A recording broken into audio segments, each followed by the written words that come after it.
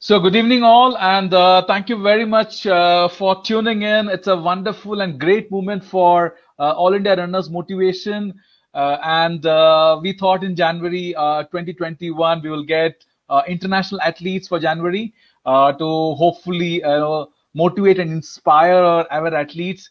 And we thought of getting medalists from who have won Olympic medals and World Championship medals to this forum and uh, with the hope that uh, you know uh, the inspiration provided by them will help our country to win medals. And today it's a great honor for me that we have got in our midst. And it's the first interview for me so it's like a fan moment also for me. Uh, you know the first uh, olympic medalist i'm interviewing uh, she has been um, olympic medalist in 10000 meters. She has got many many world championship medals she held lot of world records from 8K uh, uh, to half marathon. Uh, she has run uh, the marathon. She had the best time as a as a marathoner, best debut time. She has won London Marathon, Tokyo Marathon, and New York Marathon. It gives me great pride and privilege uh, that she is uh, talking to us for the first time to all the athletes in India. ladies and gentlemen, please welcome Liz McColgan. Hello. Nice Hi, how are you? Hi. Thank you. I'm, I'm very pleased to be here and uh, honored to be invited onto your show. Thank you so much. Uh, you know, uh, so how is Qatar? How is the weather now? The weather's perfect in Qatar just now. Um, usually it's very hot. Usually it's very humid and is absolutely perfect endurance running weather just now. It's our winter, so it's around about 17 degrees. Um, bit overcast most days and perfect running weather. So um, these these next few months, uh, it's a pleasure to run outside rather than it being like really really difficult. So um, so yeah, we're, we're in a good spell just now over in Qatar. Okay. Uh, otherwise, most of the runs are early mornings uh, in the Middle East or uh, maybe late night, maybe sometimes. Uh, I tend to run most later evening than in the morning. Um, I found that um, in the morning it can be um, a bit more humid. So I, I tend to when when it's uh, going up to the 40 degrees and you know high humidity, I tend to run about sort of 5:30, sort of six at night, just where the it's crossing over down into the sundown, and um, it seems to be less humid, less hot okay. because I've got the the bright sunshine. Okay, I mean, I I, mean, I know that temperatures uh, can go up to 48 to 50 uh, degrees in Middle East. Yeah. Okay. Um, so uh, I know that you grew up in Dundee. Uh, so can you just tell us a bit about uh, Dundee? And uh, I, I, heard there's a there's a movie or a series coming out uh, from your hometown, and you were quite excited about it. I was actually. I actually I watched it on on a day and a half. So I watched the six episodes, and it was great to see my hometown, um, just like landmarks and, and places where you know I used to go by and things like that. So it was really interesting. I loved it. But um, yeah, I'm from Dundee, which is a little town on the northeast coast. It's, it was quite an industrial town, but due to um, failing economy over the last few years, it's not um, a very affluent town. Uh, very high unemployment. Um, and I was brought up on a council estate, so um, both my parents were pretty poor, and I didn't get an enough of opportunities to do sports. And the reason I got into running was because it was free you know, I just put a pair of shoes on and out the door. Um, and so that's kind of why I kind of fell into running. But um, but yeah, you know, it, it, uh, Dundee for me is um, it's a it's a very important part of my history, and I think that if I hadn't been from a town like that, um, I wouldn't have been as successful as what I was as a runner because it instilled a drive and um, a passion in me. Um, kind of like our football teams. We've got two football teams, Dundee and Dundee United, and we're all very passionate about them, Scottish football. But um, you know, it is a very, very working class town, but I think it has a great ethos of support and when people um, you know, they're very, very sports minded and um, so uh, you know, it was a great town to be from. Okay, that's nice. Uh, we got a lot of people tuning in and conveying their hellos uh, all over India. Uh, so we have people from the west of India. Uh, there's a legendary coach of India, Simon D'Souza, uh, who is tuning in and conveying his hellos. Uh, and we got people from the south of India also conveying their hello. So we got a, a wide range of audience. Uh, and uh, I'm hoping that we got few other people also coming in later uh, and hopefully tuning in to listen to you. Um, so uh, I mean, I uh, I mean, I, in my research, I read a lot about you, and you know, uh, uh, followed a lot of interviews about you, and where you're telling that uh, you got serious uh, in running at the age of 16, and you are practically running around 90 miles a week. so tell us something about that time when you started running. What were you What were you aiming for at that time? Um, when I started running, I was 11. I was in first year of secondary school, and the reason that I started running was because my PE teacher, who was a marathon runner, um, just a club level one, um, he used to put us out on cross country races, and um, I used to sort of win my class races and things. And I was always a very fidgety child, always had lots of energy, and he just thought that running would be really good for me. So um, he kind of took me under his wing and took me along to the local club where I got introduced to a coach. And when I went to the club, I used to do high jump and sprints. And I was never very good at them. I was okay at the high jump. I jumped about 155. But um, sprints, I just didn't really have any speed. Um, and then we did a charity night where we had to run laps for to raise money for her club. And being a sprint group they couldn't really run many laps. And i just you know i was able to go and go and go. And quite naturally i had like this endurance in me. And then my coach after we did that said oh like you're not a sprinter you're an endurance runner. You need to go in another group. And then that was kind of like where I got discovered and where I blossomed. I, I joined like a, a, a, lot older group. I was the youngest by a lot, and it was mainly men. There was maybe another one woman who was about eight years older than me um, and I thrived on it. You know, um, to me, endurance has always been natural.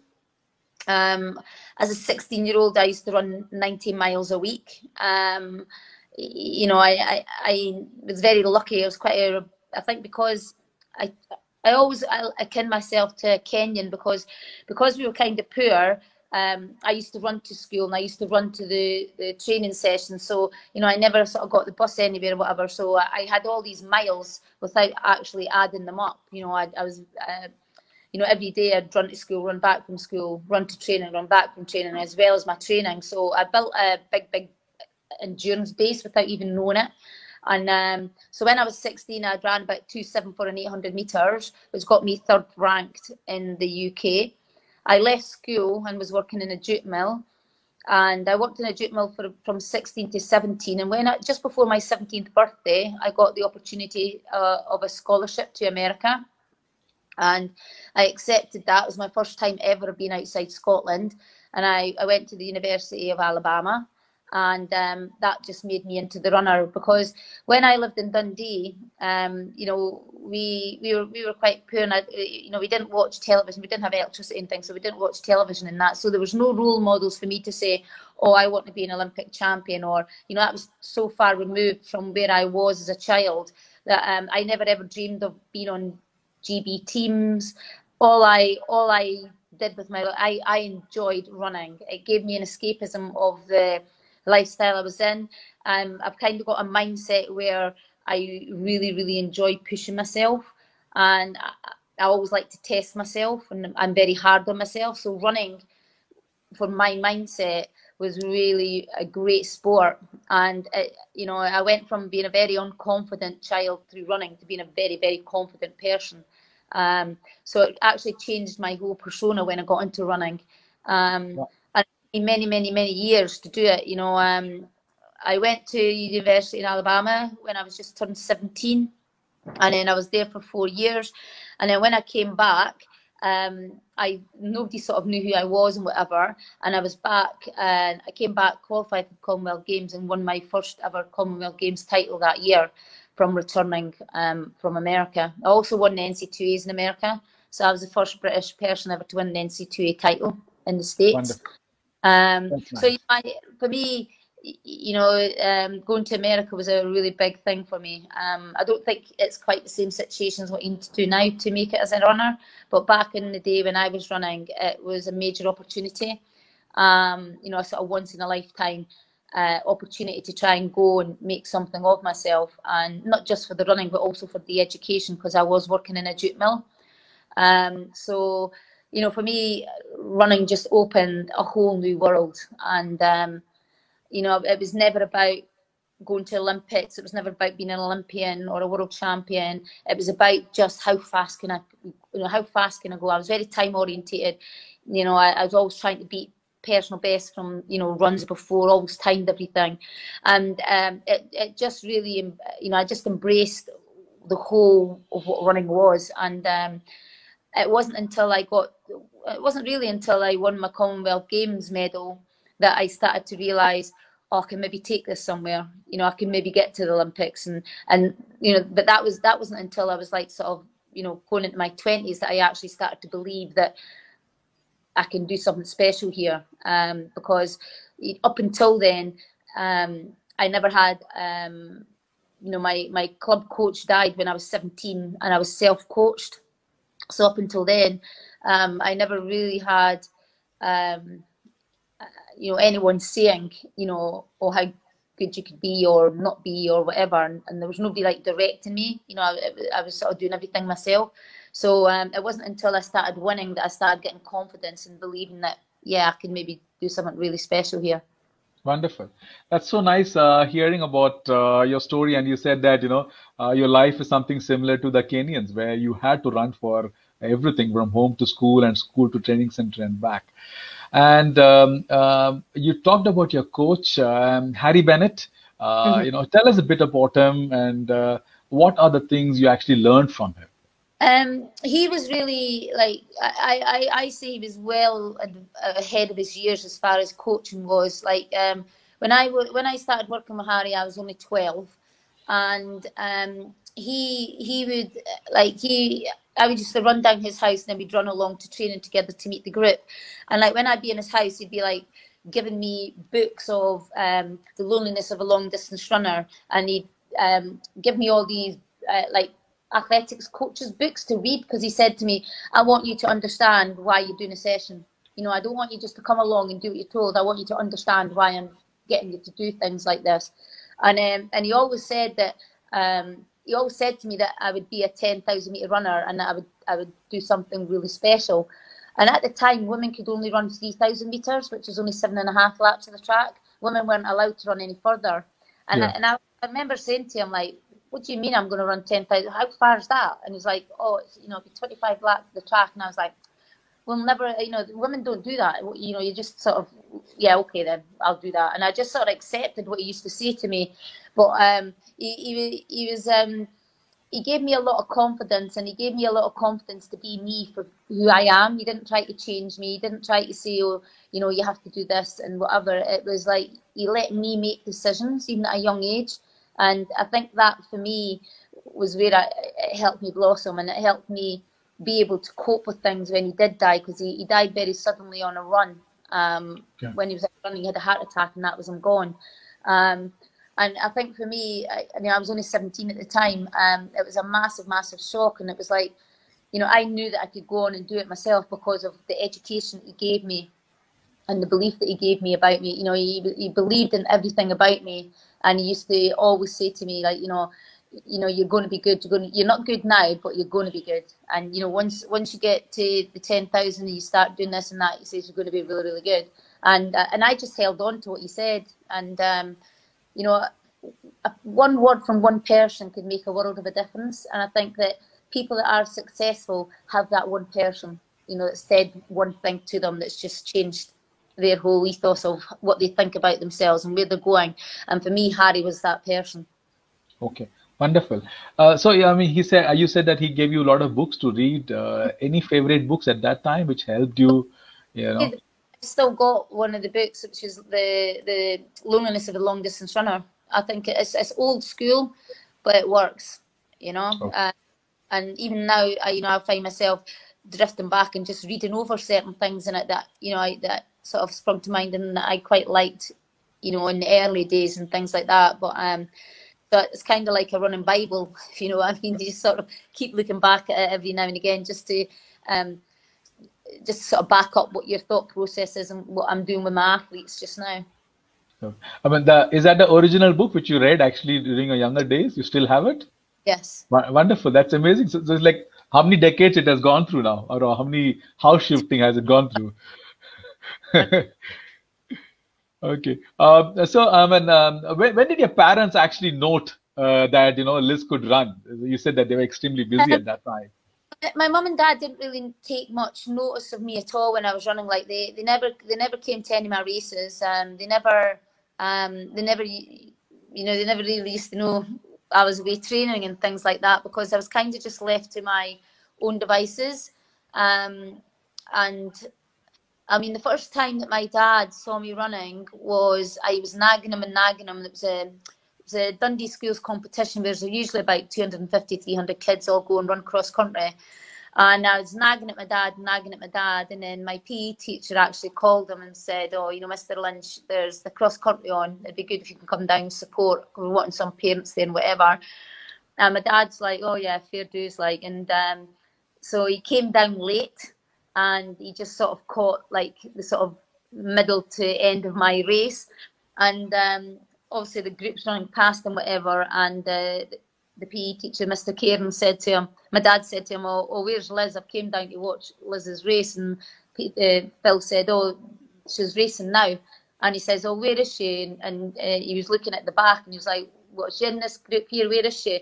And Phil was like, no, Martin, if you look way up there, round the corner, down that back straight, there's Elizabeth there. And my dad was just gobsmacked. He couldn't believe how far ahead I was everybody, and that was when that was the first time he then became very aware of you know something special going on in my daughter, and then they started to be a lot more interested and um, and like you know more supportive. Like he'd drive me to my races and things like that, and come and watch and. Um, but he never, he can never come to a championship because he used to think that he jinxed me. It was like okay. if I watch the Olympics or something, you'll lose. If I come and you know, so you, you, would never watch it. And then even when I was on the telly, he gets so nervous he'd walk out of the room. He couldn't watch me running it. So, so uh, that's nice. So, so, what was his reaction after that race? Uh, you know, when he saw you far ahead, when he realized that you know you could run. Uh, so when you came back, you know, what were those first words which was exchanged uh, between you guys? I remember he just said to me, "I didn't realize that you were that good."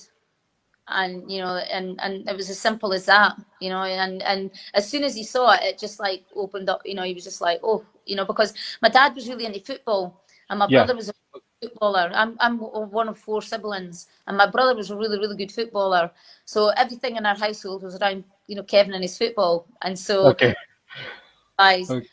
oh you know like Liz can, Elizabeth can run, and um, and and he was they, they, were very very supportive. As soon as they saw how serious i was about it they, they then became on board and very supportive and tried to help me out you know try to save to get running shoes and tried to okay. save to get tracksuit and things like that. So um yeah it, it was a, a, big big turning point um for my running career having my mum and dad on board with me that's i mean i can just imagine the dinner table at on that day when your dad was praising praising you and mm. your your siblings also listening to to him, and that would have been a good, uh, you know, a good thing to hear at that time.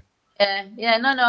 Um, as I say, like my my my brothers and sisters have always been um, supportive. It's just that you know my my brother was such a good footballer that um, you, you, didn't expect anybody else to, and also being a girl, you didn't expect me to be anything sporty. You know, I, I was just like I was a typical tomboy kind of girl. You know, I'd play football with my brothers and tennis with my brothers, and but I never got to do anything. You know, I, I, I was just like messing about with my brothers all the time. Whereas, you know, this was the first time where it was actually noticed that, you know, she is a lot better than the other kids her age for what she's okay. doing. So was... That's nice. Uh, you, you, so you spoke about your coach uh, Harry, and after his passing away, you you self coached yourself. Yeah. Uh, so I mean, and that started at, at, a very young age, right? I mean, you talk we're talking about 19 years, 18, 19 years. Uh, how did you manage to you know to do that? Because uh, you know, uh, how did you manage to maybe make your schedules? Uh, because I know that it is pers- it is personal to you, and uh, and you try to do that now actually with your trainees. But how did you manage yourself at that time? From the age of 11, I kept training diaries. So I had every training session that I did um, you know, when I started. And, and I think that I really did have a good grasp on what endurance running is and, and what endurance running for me is. You know, I, I kind of knew what made me tick and also the, the conversations that I had with Harry and the sessions that I had from Harry, especially in that last year before he died, um, had already set my mind and, and what I believe endurance running is and, and how to be good at endurance running.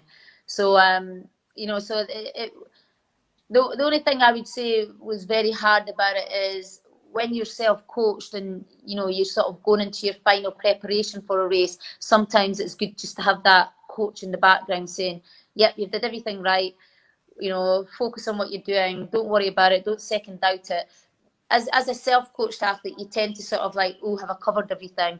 You know, I, I, have I got myself in the best shape possible? And you know, sometimes there's a little a little um, second of doubt and like could I have done this better? Could I have did that better? And you sort of get a bit panicky before a major championship because you haven't got that voice on on, on your shoulder saying, no, we've done it right, we've prepared well, and da da da. So you know, because it's a partnership with a coach, isn't it? It's not just the athlete, it's not just the coach, it's a partnership. And when you're self-coached, you haven't got that. Okay. Would you recommend that uh, to anyone now? Self-coaching. Um, very individual thing. I mean, I tried. I you know I tried to um, be co- I, I, I coached by other people, but they just didn't have the same ethos of me on endurance running, and I didn't run well under them. Um, I, didn't enjoy the training under them. And you know, I tried, you know, two or three different people, and it was just like, no, this is not working. And so I was actually better training myself. Um, again, it's a very individual thing. I'm, I'm quite strong-willed. I'm quite strong-minded. I, I can push myself really hard. I don't need a coach there motivating me to do it. Some people actually need a coach there for the motivation to get on and do it. I'm not like that. So, um, you know, it's very individual as to, you know, can you self-coach yourself? Um, you know, most working partnerships, like, I mean, I coach my daughter and it's a great coach relationship. You know, I, I thoroughly enjoy being a coach to her. But, um, you know it, it's not for everybody. Okay. Um, so uh, you know you uh, you did extremely well uh, you know all the events. I mean ranging from 1500 uh, meters to the marathon. Uh, 10000 meters seems to be always a favorite. I know that coach Harry told you about it but any reason why it is your uh, your favorite? Because you you've done extremely well and you won maximum number of medals in that yeah, well, I mean, I've ran 4 1 for 1500, so as a marathoner, that's pretty good speed. Um, it's not fast enough to be um, top in the world or world class at 15, um, but it's still very quick for to bring that to 10k and marathon running. So I think I had a really good mix of um, good pace with endurance, and I think 10k marries that well together. Um, I personally am a better road runner. Um, I'm very efficient on the road.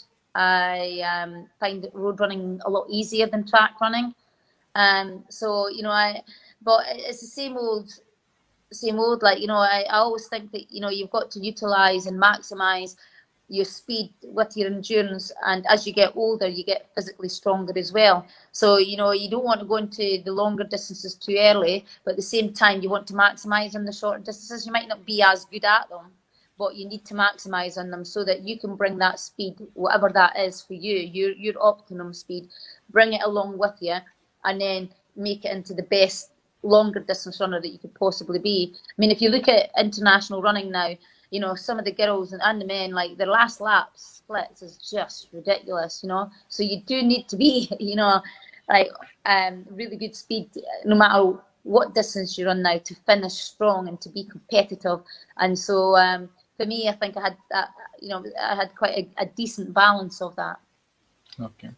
Thank you, thank you for that. Uh, you know, you said earlier that you know, when uh, when it comes to confidence, uh, uh you used to always get uh, jittery. Uh, you know, and how did you manage to overcome this not so confident, and being a not so confident to a, a person who started winning a lot of races? yeah. what, what did you do to do that? My confidence came from my training. Um, I knew um, I got to a point in my racing career where I knew that no other woman was capable of doing the workload and the training that I was doing. I just knew it from what I was doing, and um, and when you when you do certain sessions and and and run certain times, the confidence is there because you know you've done it and and and that's what changed me. You know, um, I, I you know I was a very intense trainer. I did train extremely hard. Although I, although I did a lot of um, miles, I did good quality miles. I was never a slow paced long runner. You know, I I was a fast paced long runner. Um, okay. So, you know, I just I just used to um, I just think that um, the longer I went, the easier it is for me. Like I, I, when I ran a marathon, I never hit a wall or any, I never had that heaviness in my legs. I've never experienced it at all in any of my career. And there was one time um, I met the late uh, Grete Waitz and we were in Gainesville. And uh, over my latter part of my career, Grete became my mentor and, you know, and started coaching me. So that was my sort of um, towards the end of my career, she was my coach, and she was the only person that I could actually work with. It was like my relationship with Harry because we were very, very similar in our mindset and our ethos of running. But there was one time she said to me, like, let's go and run a five mile loop and we'll see if we can create this heaviness so that you, you, you know what it feels like. And we got to, like, we were doing five mile loops and um, we got to the fifth loop, which was 25 miles. And I actually ran through the marathon like something like 230, something like 2, 220, 230ish or something like that was actual pace. So we were actually running quick. And she says, right, let's do another lap because like nothing was happening. So we actually ran 30 miles at like 235 pace or something. And I still never got the heaviness in my legs. And then I, I said, I'm not going to go and do another lap because that's like 35 miles. I ain't doing 35 miles. And she says, no, what we'll do is we'll go for a run at night. So after running 30 miles, about five o'clock that night, we went for a run and then I felt the heaviness because I'd, I'd never had such stiffness and tiredness in my legs when I tried to run a five mile that night. But um, but yeah, so you know, it's um, also there's several ways to skin a cat, but I mean, it's like um, you've got to find a way that suits you as an endurance runner. And for me, confidence came from knowing what I was capable of doing. And I now know if I did it in training, the type of runner I am, I can produce it in a race. Um, and so my training was was very crucial uh, in me gaining confidence. Okay. Uh, so you never had any easy pace run, Liz. Always you love to run faster. Uh, I mean, there is never anything too easy. Yeah, I think a lot of girls are a bit like like me. Like you know, as soon as I got out the door, it'd be like you know six minute miles right away. Um, okay. I, I always, I was always, my runs were always quite quick. Even when I okay. did my miles, like 20 miles, I never, I never went like, you know, like my, my long runs would be something like um, 550 mile pace, no matter okay. how long. Um, it, I was very efficient um, in my running, so um, I, I never did lots of like long, slow, steady miles. Never. Okay, I mean, a lot, lot of messages coming out here saying that you're superb. You know what an inspiration. Uh, you know, true confidence is all about hard and intelligent work, and you put in your desired goals. So, uh, and you took that confidence, and within uh, you know uh, what around less than ten years of training, you you went uh, to uh, to win a medal at the Olympics in Seoul for the ten thousand meters. just tell us about that race and how did you feel after winning that medal? To be honest, an endurance runner's career is really long, eh? Because like as we get older, we get our VO2 and that improves. So it's like you know, endurance wise, as a woman, you're not at your strongest for marathon until you're in your thirties, and so you've got a, you know, I started running eights and fifteen hundreds, so you know I had a big, big old long career, um, right up until I retired, um, in '97. Um, and I only retired because um, I had arthritis in my foot. It wasn't due to massive injuries or whatever. It was an, a, a genetic thing that I had in my foot, and my sister's got the same thing. Yeah, but yeah. Um, you know, for to to have such a long experience or like a, a, long career you know there's never a rush and i think like you know athletes of the day are always in too much of a hurry to get there and it's like you know you've got to let the body develop at the right pace for you whatever that be. And um, so for me i always knew in my mindset that um, you know i was a long distance runner. You know the marathon is going to be my ultimate. That's where i'm going. And i always knew that from like you know sort of 17 18 19 years of age. But i had a lot of work to do before it. It took me 10 years of training to be commonwealth games champion. And then it took me a further 10 years um, to be London Marathon runner. It's a long old time of training. Um, it doesn't happen overnight, and every race isn't a victory. You know, there's more down bad races that you need to um, accept the experience in than before the ones that you win and get the glory for. You know, the, the glory ones are few and far between. You know, there's a lot more heartache and disappointments along that time period um, that nobody ever really sees. You know, and, and you've got to deal with it and get strong with it and learn from it. And you know, I was a great believer that every race gives me an opportunity, whether it's a good race or a bad race. I always take a positive out of it because I used to always. I've had a fantastic race, I always used to analyze it and say, well, where could it be better? I've had a really bad race. I used to analyze it and say, you know, where did it go wrong? What can I do to make it better? So every race was an opportunity to be a better athlete, no matter whether you won or lost. And um, I've always carried that all throughout my career, and I've always carried it with my athletes that I coach as well. Wonderful. Uh, before we uh, before I ask you another question, I just wanted to let you know uh, Douglas uh, Wakiihuri has joined the uh, the link and uh, uh, so from one Olympic medalist to another, he's saying Jambo Liz, uh, yeah. and he's loving the interview. So you want to say something to Douglas? You can. yeah, I know Douglas very well. We go back way back, and we were Kazakhs athletes. And uh, I was saying that I remember when I first met Douglas, he had a record in the charts in Tokyo. He was a bit of a pop star back then. Okay, that's nice. Uh, so I, I, got a question from uh, from uh, from a, a, friend of mine, Guru Murthy. He's saying that have you trained with uh, Svetlana Maskrova, uh, Masterkova, uh, and you know, did you train with her? Did you run with her? And how was the experience? No, no, I've no. no, no, no, no. I've never trained with her at all. No. Okay, fine. so let's get back to Olympics. five tips from Liz for all the professional athletes on you know uh, how to win a medal in Olympics? It's not an easy task. Um, to win to win a medal is is just being a very dedicated trainer, um, an athlete that knows their discipline. So, like my ten thousand meters, I knew how to run that inside out. You know, you've got you've got to um, decipher how, like you know, what time you think is going to win that race, and then you need to plan how you're going to run that time. And you know, it takes a lot of training, it takes a lot of planning, and it takes a bit of luck as well. Um, and like for when I won my world title, I trained for three years specifically for that one race. Um, I knew it was in Tokyo. I knew it was going to be hot and humid. I'm from Scotland, which is not hot and humid and it's not yes. warm.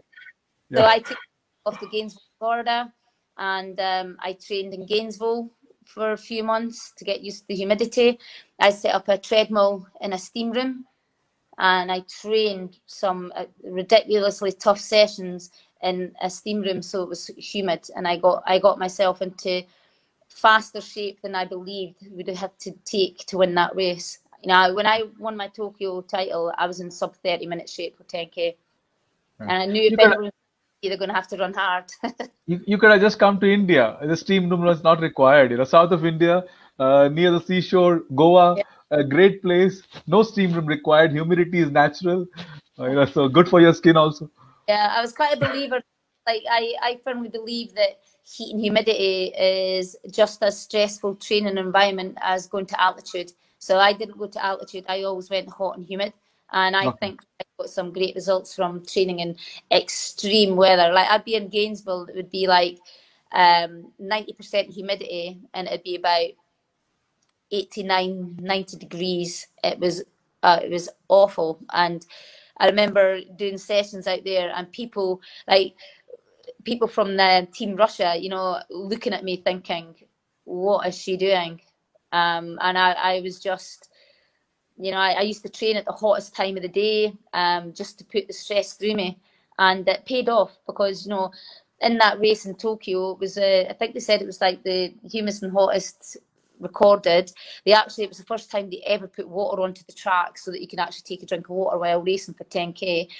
And I think, I think I was, I think it was like, I was the only non like European to actually finish the race. I think most of the people were you know Asian or American or whatever that were used to you know Europeans really really suffer because it was so hot and humid. But um, you know it, I had purposely planned three years work to try and get it. Okay, so uh, so I mean, uh, what sacrifices does uh, did you have to do, or you know, during that time? Uh, a lot of like you have a, no life whatsoever. Um, my diet was very very restricted. You know, I I wouldn't eat um chocolates and there were certain foods and like sweets, candies, cakes. You know, nothing. I I was so restricted and and um you know, I used to look at my body like a car. Uh, you know, I only put good fuel into it. Um, you know, you, you've got a very limited, like, like when I trained, I would be in bed at nine o'clock, up training at five, get breakfast in the gym, have a little nap, out to the track, back home, tea in bed. You know, that was it. It was eat, sleep, train. You know, that, that was just repeat, repeat, repeat. So, and you miss a lot of family time. You miss a lot of your, you know, time with parents and siblings and things like that. And also, um, at the time, um, it was quite difficult because, you know, when I when I was world champion, I just had a baby, and I had wanted a baby for a long, long time. And you know, I kind of had that kind of like uh, yearning. I just wanted to start a family, but I couldn't because of my running. And then I ended up getting pregnant, not realizing, and Eilish was born, and um, I won my world title nine months after I had her, and it was really difficult. I wasn't one of these parents that had like nannies and all this sort of stuff. You know, I, I looked after her myself, and um, so that was difficult traveling with a youngster and trying to balance that kind of family life and. Um, and you know, I, I, used to feel a bit guilty in the fact that you know I used to have to go training and not be able to go to the park with her and things like that. And um, so you know, you do sacrifice a lot, but at the end of the day, you know, um, it, it, you know,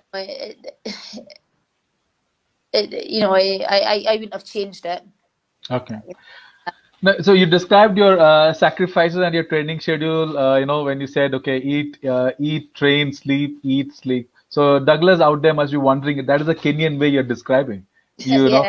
know. yeah. so. Kenyan, not a Kenyan way specifically. Any top athlete that is what they do um, because you cannot afford to be tired and you, it's all about recovery and sleep and sleep's just as important as a training program um, you know it has to be built into it and you have to be recovered and to keep yourself healthy you've got to visit your physio and you've got to do, and you know so your whole day is around what running is and um, you, you know I, I I used to be on a therapy bed for like you know two hours a day um, you know, I, would be running 140 miles a week. You know, there wasn't a lot of time for anything else. Um, you know, but that's the routine that any top athlete has to do. It's and I don't call it a sacrifice because it's a cho- it's a lifestyle choice. And yeah. I actually enjoy doing it. It wasn't a it wasn't a bind to me to get up and run in the morning. I loved getting up and going for a run in the morning. Um, the harder sessions were, the better buzz I got from them. Um, so I'm, you know, it was never, it was never a sacrifice to me. You know, it was just a restricted lifestyle for a period of time. Okay, thanks for that. Uh, so a uh, lot of athletes, you know, I mean, when I uh, read about the history and I interviewed, and uh, uh, they run kind of faster times after they manage to come back from the birth of their child. And you also ran your lifetime best uh, for the 10,000 meters. Time was 30:57 uh, you know, uh, just seven months after Eilish was born. So, how did you manage your trainings during that time? And is there any connection between, you know, childbirth and faster times? Yeah, well, my fastest time is 30, 38. Um, okay. okay. But, um, like, for me, it, um, it was quite a natural. Like I, I got pregnant and I didn't know I was pregnant, so I was running 110 miles, 120 miles, and I was like four months pregnant. hadn't a clue I was pregnant. Then I found out I was pregnant, and I just continued to run all the way through it. But I wasn't, you know, I wasn't putting spikes on and going down the track. I was just going for nice steady runs, listen to my body. If my body was tired, I'd run slow. If I felt good, I'd run quick. And I, so I let my body dictate to me, and I'm very in tune with my body, always have been.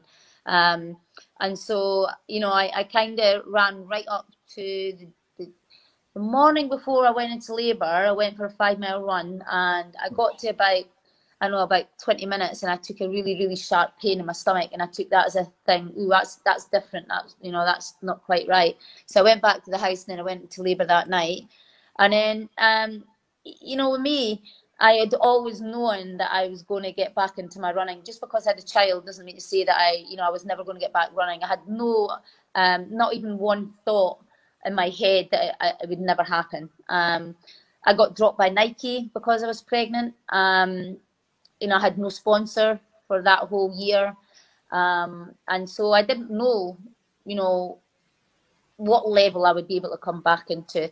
But at the back of my mind, I always had the World Championships. I always, always, always had, like, I'm a big believer in visualization. And, you know, I'd have like stickers up with Tokyo and I'd have something else up with, you know, 10K. And, and I always had like little things in the back of my head that's like, you know, I'm going to be ready for Tokyo. And then as soon as the Eilish was born, um, I was pretty much right into it. I, I ran my first race in America about six weeks after I had her, and it was a 5K, and I won that against some pretty decent Russian girls.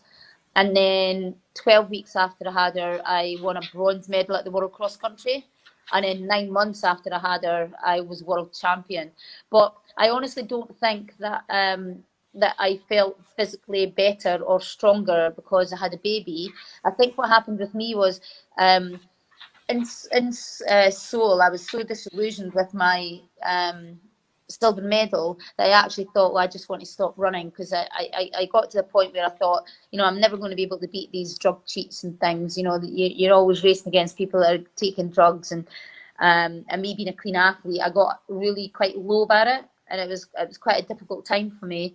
And um, so when when I got pregnant, it, it took all that kind of I don't know whether it was a feeling sorry for myself kind of mood, that I was in because you know I'd I'd sort of like got the silver and I trained really hard and wanted to win the gold, didn't get it, whatever. Um, when I got pregnant, it made me more relaxed and then I stopped thinking in that train that I was thinking, oh, you know, what what do I need to do to to beat these girls? You know, what is it I need to do? And so it, it, it let me relax and chill out. And then as I was starting getting back into it after the baby, it was like I got my love for my running back again, and I got the old me that didn't really care about what anybody else did. I'm just going to focus on me and do the best for me. So it kind of really flipped, switched a switch in my head. Um, all during that pregnancy um, as to refocus and find myself again rather than keeping worrying about you know other people and what they're doing and they're winning i started focusing on me again and i started thinking like you know what i know i can break 30 minutes and if i'm going to be in against you know someone that's taking drugs or whatever then they're going to have to run 29 30 then to beat me because that's just okay. the attitude that i took that's a, that's a nice way of uh, of thinking uh, that I'm going to run 30 minutes, and if they have they are cheating, they have to run you know, at a faster time than what you're doing. Mm. Uh, so so 1992 from 1992 actually you took uh, you know you told me that uh, you know you always knew that you're going to run a uh, run marathons, yeah. but after 1992 you actually ran the marathon and you also were the had the fastest time as a as a debutant. you know. Um, uh, how was that uh, change from your training in the training schedule because you're training for 10,000 meters uh, yeah. but then you started running the half marathons and marathons were yeah. there any major changes you had to do yeah the the the New York Marathon which was my first marathon which was like um some like November after I won in uh, my world champion so I'd just become world champion and um it was just by sheer um it wasn't planned my first marathon. What happened was Fred Lebow, who is the New York, who was New York Marathon organizer, he called me up um, just after I think it was about a week and a half after I'd won my world title, and he said, "Liz, you know this is Fred from New York Marathon." He says we just had a press conference, and Lisa Ondieki and Rosa Mota, who were the two top marathon girls in the field for New York that year, at the press conference, they were asked, "Oh, young Scottish girls just won the ten thousand meters. Do you ever think she'll be a good marathon runner?" And they both turned round and said no. They said that I'm a track runner and I waste too much energy and I wouldn't run fast on the roads. So Fred said to me, "Do you want to come and prove them wrong?" And I just said, "Yeah, okay." That's how. so I, I only had like literally seven weeks training but um, and and all I did was I did a couple of long. I did a two 18 mile runs. Kept my like normally I would do um six by a mile. I did one session of ten by a mile, and went and ran it. But Oh, bearing in mind, as a 10k runner, I was I was I was running 110, 115 miles a week as a 10k runner. So it's not like you know I, I don't do distance. I just don't do 20 odd mile runs and things like that, which you know I, I didn't need to do. Okay, I mean, uh, they should have uh, known better than challenging you actually. So, uh, to uh, and uh, telling that you could not. So, uh, so it's amazing that you know you took a liking towards it. Uh, but over a period of time, when you started running, you know, the New York Marathon, then you actually won the London Marathon and the Tokyo. Yeah. Um, because were there I- any were, were there any changes in the in the training schedule? yeah, because I, I did so well in New York, uh, it, it's actually sort of like um, it was the beginning of the end, really, because I didn't want to move up to the marathon until a lot later. But then because I got like an instant success in New York, um, I then got offered a, a, a contract for London Marathon, and it was a, too good a contract to turn down. And so it then kind of put me into a marathon career that was a lot earlier than I anticipated.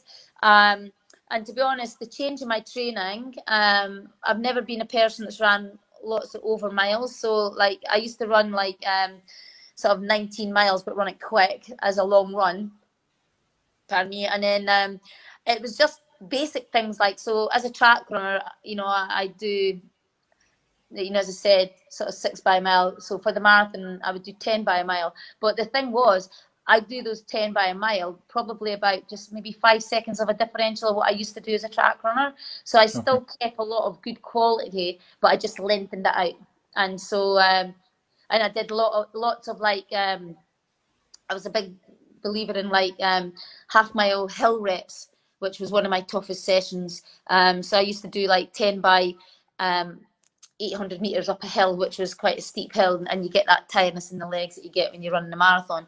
Um, and then you, you know a lot of tempo running. I, I started introducing an awful lot of tempo running, um, like sort of over 10, 12 miles and things like that, which um, you know sort of like five, 10 mile pace with a heart rate of like 164. So I was very, very economical. So I, I, I went more for the economical side rather than the high, high, high intensity that I used to do on the track. But at the same time, because I came from that track background, my speed was still pretty good even for doing 10 and 12 mile sessions. Okay. So uh, we have heard a lot about uh, Liz as an athlete. Uh, uh, how is Liz as a coach? Um, totally different. Um, I, if I tried to coach the way I coach myself, I'd have no athletes. so, um, uh, you know, I, I've learned through myself, through trial and error. Um, but I'm a big believer that when you coach, um, you cannot coach every athlete the same. So um, I, when I coach my athletes, I get to know the athlete, and then I tweak what I need to tweak for that program to fit theirs. But I have a certain ethos that I believe in for 10k running to marathon running. Um, you know, I have a sort of template that I believe that this is the way you should train towards it, but it's different from individual to individual. Okay. Um, so you already you are, you have an organization. You're heading an organization in Doha, uh, wherein you are providing coaching, uh, not only for schools but also for adults. So Yeah. and uh, the hobby runners who are coming up now, uh, you know, who love to first buy their shoes and then start running. Uh, so uh, what other things uh, you come across in your uh, you know from your trainees? Uh, what do they want, especially the hobby runners who are in their mid 40s and above? What we find what we find is with the older sort of hobby runners as you call them is a lot of bad habits. Um you know and um i think that what what we tend to do in doha is try to strip it back to basics of athletics. So we try to get them to use the feet properly um to actually get breathing technique properly. Um and even simple things of correcting that makes a massive difference in how they run. Um but you know we we, we we try to encourage again it's very individual because you know even hobby runners have different goal sets and you know um, they come in all different shapes and sizes as well. And so you've got to take that into account. But what we tend to do is try to have a basics of trying to strengthen the structure before you run. And once you strengthen the structure then you can build and then you can run. And that's kind of what we do here in Doha. We we have school programs. We do ABC, we do agility and ability, um, teaching very, very early years on how to use feet, how to place bodies, so that they know how to use the body before they even go into sport, which is a really good thing. And it could be swimming or football or whatever, but every sport has athleticism in it, and we teach how to prepare at a very, very early age, how to prepare for to go into sport. And then, um, and again, we've got like um, a, a, little club here that we have um, that kids they're not they're not going to all be elite but they, they love to run and we like to encourage lifestyles of any kid to be active. So this is what we do in doha. That's nice. So um, have you got uh, any uh, hobby runners who says you know within first few weeks of training that they want to run really fast uh, really fast marathon? We, we always we always have people and they say, um, do my first marathon and I want to do it in this time. And my advice to them is take the time out of it. You know, a mar- marathon running is amazing. For it is tough. It's a lot of time on your feet. So why restrict yourself to a number? You know, your first marathon should be an experience that they enjoy, and when you finish it, you're ready to do another one. You know, you don't want you don't want to overly push it and everything on your first one, and you want it to go to plan so that you actually do execute the best race that you possibly can do on that day. And sometimes I think we can just bag ourselves down too much by this. I want to run sub three hours, or I want to run sub four hours, and I want to, you know, just embrace it. You know, embrace being a marathon runner just get out there and do it and, and just leave the sort of uh, there's an old saying leave the monkey at the door like you know? Uh, it's like you know don't don't just um, don't just limit yourself from what you think you know a, a, decent time is because at the end of the day whether you run it in three hours two hours five hours you're a marathoner at the end of the day. Okay. Well that that's a nice thing to say actually because a lot of uh, uh, especially when they are reaching above 40 and 45 and they are mm looking to run a marathon, they always want to run faster times and they end up getting injured. So, but I like the way you said it. That don't restrict uh, yourself to uh, to a number. Uh, know, uh, yeah. it, it, it's an experience by itself.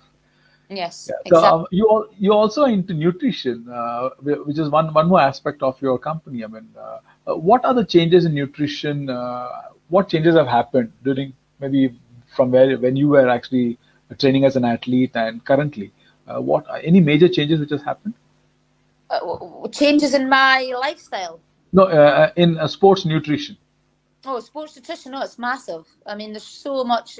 There's maybe too much information out there now um, on the internet. You know, uh, all information is, avail- is available to all, whether they are experienced people that are giving you those information or non-experienced probably more non-experienced people giving information now on internet than really should be allowed. Um, you know sometimes i see some really bad advice from people that aren't coaches, they're not qualified in anything they do, and they're trying to tell someone because they've ran a marathon or ran 10k, they now think that they can then tell other people how they did it, and you know, and it's not really right. So, you know, I don't think that you should listen to everything that's out there, but there is a lot of advice on nutrition, um, and nutrition to me is eating a, a, a good diet. You know, I I don't think it's a great idea to diet to do sport because you know your energy levels need to be good for to perform with at all levels doesn't matter what level that is um, if you're a, a fun runner or an elite athlete you know if you haven't got a good nutrition then you're not going to get a good performance at the end of the day so you know nutrition is really really important but the most important thing is recovery and nutrition for recovery. You know, a lot of people tend to think, oh, well, you know, I'm going to go for a 20 mile run, so I'll eat my pasta and whatever. And then they forget about the recovery phase, which is after the run, which is the most important so that you don't get up and you're stiff the next morning. So, you know, it's, it's, it's really important that you check out your, your balanced diet and that you've got your recovery plan in place so that you've got good protein um, after you exercise so that your muscles are building and repairing as you're sleeping at night. Wonderful. So uh, you, you talked about uh, somebody who's just run one 10k or a or a marathon, and they start giving advice, uh, you know, and they even write a book, you know, so about their experience. Uh, but uh, just wanted to ask you, I mean, uh, you you had a wonderful life as an athlete and also coaching your daughter. any any book coming on on on your achievements? No, no, not at all. Um, I I was like before I retired, um, we had signed a deal to actually do a, not about to do a biography on me uh, about my life and whatever. And then um, some lady called Adrian Blue went and did an autobiography without my permission. And okay. uh, so there was a book written, but it was without my permission, and that stopped the real book getting done. So right. no, no, there's no pipe. There's there's nothing in the pipeline. You should you should have one now. Maybe that have been a couple of a few years back. So you know now now you I mean uh, it might be a better way of of you know you should actually relook at it, and I'm sure you know uh, we would love to you know to read what uh, you know about about you. So I think you should. Yeah. So. Uh, so uh, we have just uh, come to the end of the interview. So I just wanted to, before you sign off, uh, any final advice uh, uh, to uh, to athletes on achieving their goals? My my my final advice would be to believe in yourself and never be afraid to dream big. Okay. Uh, thank you very much, Liz. Uh, I think it's been a pleasure uh, talking to you. Can you just be in the studio for a few uh, few minutes uh, while I just thank my audience? Uh, okay. And well, it's been a pleasure, and it's so nice to hear your story. very inspirational and motivating for all, and I'm sure. You know, when they look back at this interview, they would enjoy the moments. you know, all the things what you have said is of real importance, and I hope Thank that you know it'll inspire runners in my country to to win a medal. Let's hope so. yeah. yeah. Can you just be in the studio just a minute? Yes. Uh, so thank you very much for tuning in. It's been a wonderful experience uh, talking to uh, Liz McColgan and her story is inspirational and I hope that uh, you'd be tuning in for further interviews. Uh, yes, the next interview is on 22nd and uh, we got Mr. Douglas Wakiihuri from Kenya, who's a silver medalist in Olympics for marathon who will be coming in and talking to us. Uh, so till then, uh, um, it's uh, good night uh, to to all of you in uh, tuning in, and uh, see you sometime later. Thank you so much.